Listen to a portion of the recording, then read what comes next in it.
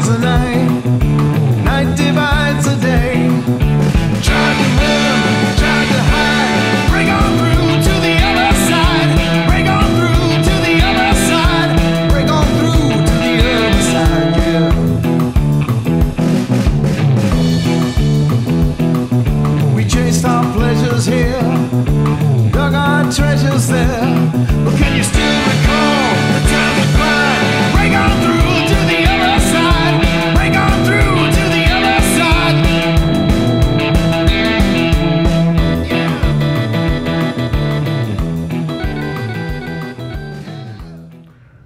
Okay, now we're up to the chorus section of the song.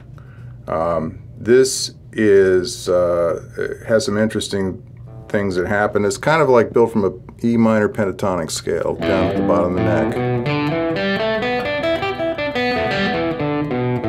You probably know that scale.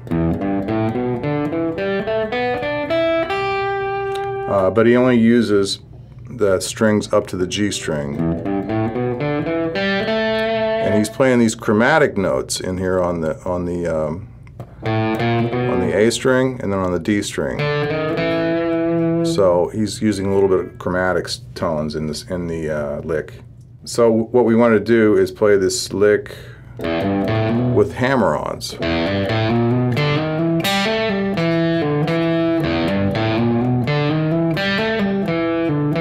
So let's put the metronome on and practice that.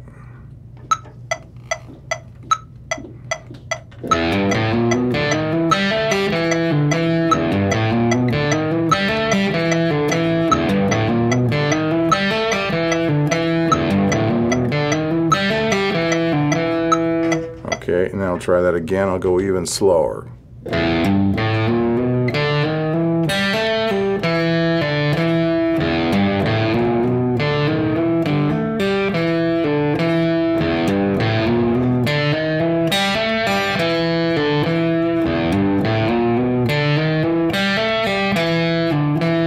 Now you might have trouble getting all those hammer-ons and pull-offs to sound clear, so um, you can pick all these notes and it sounds fine. The one that I would suggest you try to get is this hammer on to the A and then pull off to the G. And everything, everything else will sound fine if you pick it.